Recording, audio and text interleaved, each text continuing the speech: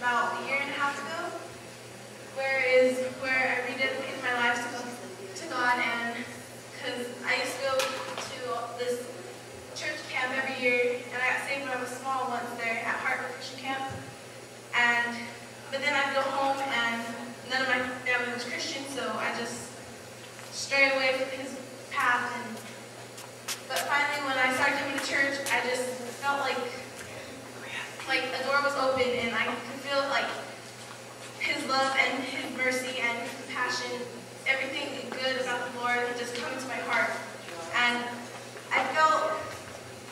I finally had a home, somewhere I belong.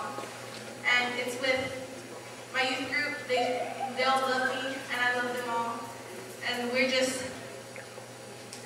it's such a blessing having them. And being with my, at my church and serving the Lord with my youth group, I learned that, like, we're here on earth to praise our God. He created us. He loves us no matter what. We're here to serve Him. And just.